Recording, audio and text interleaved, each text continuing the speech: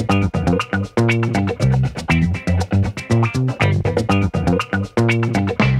guys, welcome to another episode of Little League's Daily Skill Video sponsored by Boost Juice.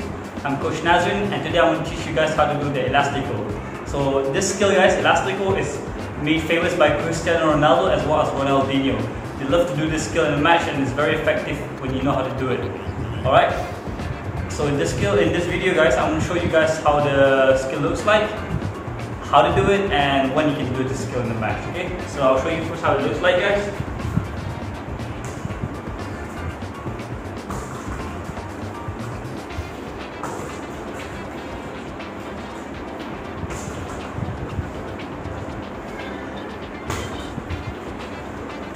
Alright, so I'll show you again slowly this time guys.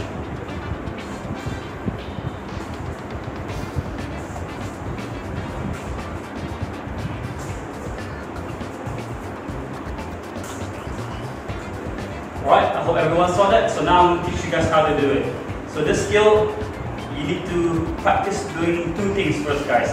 So one, the first thing you need to practice doing is hitting the ball with your outside foot and then hitting the ball with your inside foot.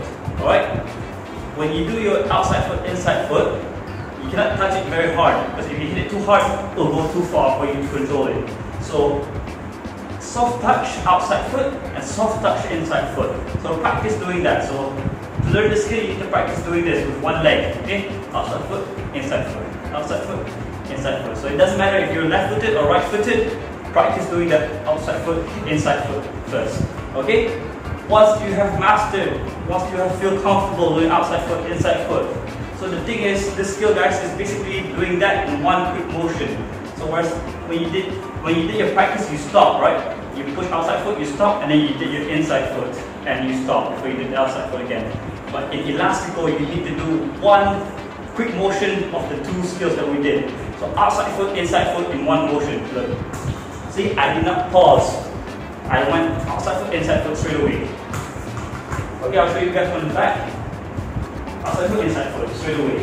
One quick motion. So for practice, you can practice doing it slowly first, guys. So outside foot, inside foot.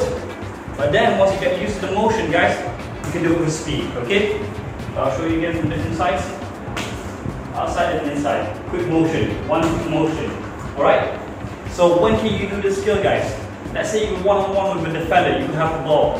The defender's in front of you. There's more space over there, and there's some space over here. So what you want to do, guys, when you do this elastico, when you push up your outside foot, the defender will think you're going to go that way. So even that small big second when you push outside foot and inside foot, you guys give yourself a few milliseconds where the defender will get confused.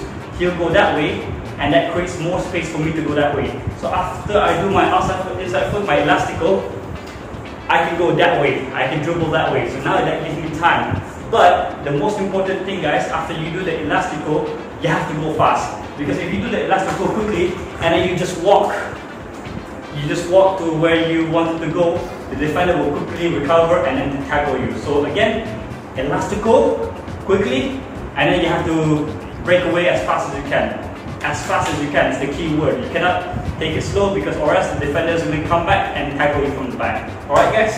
So I hope you learned how to do this skill, practice a lot at home. I hope you uh, also apply the skill in the match and I hope you enjoyed my series guys and I'll see you next time.